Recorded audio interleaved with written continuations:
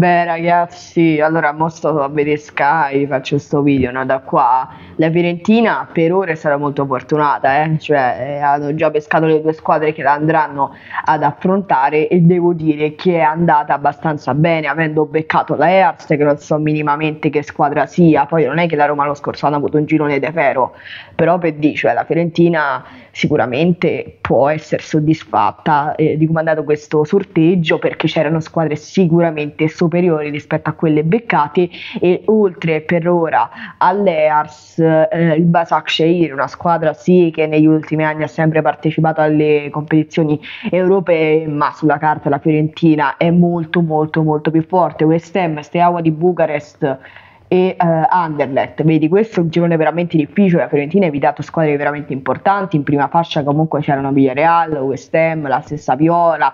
Insomma, diciamo che squadre forti, ecco, no? Villarreal, Chevalier e, e Austria Vienna, diciamo un'altra squadra che la Fiorentina Uh, ha evitato. Partizan e Colonia nel gruppo D, questo è un bel girone, AZ Alkmaar, Apollon, Limasol, Vaduz nel gruppo E, vediamo ora quale sarà la prossima avversaria della eh, Fiorentina.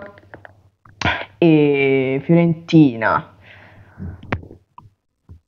RFS, squadra tra parentesi LVA con la Fiorentina ma che so queste squadre? Io non, io non conosco nessuna delle, cioè ovviamente Silva Takshir che può essere una squadra insidiosa fuori casa, ma raga, EART e RFS che cosa sono? Marche dei de vestiti? Raga, la Fiorentina è andata veramente bene, eh? non è che ti sto perculando, anzi io ho vinto la Conference League che è una grande competizione UEFA, la Fiorentina è tornata in Europa e sono veramente contento perché il girone è andato di lusso, potevano beccare squadre veramente, veramente più forti, anche della, della, della quarta fascia. Eh parliamoci chiaro, quindi secondo me cioè la Fiorentina è andata di lusso, vedete questo girone West Ham, Anderlecht, Silkeborg e, e, FCSB cos'era? Tipo una squadra storica comunque, insomma secondo me mh, mm, poteva andare peggio, Slavia Praga, Cluj, Sivaspor, vedete?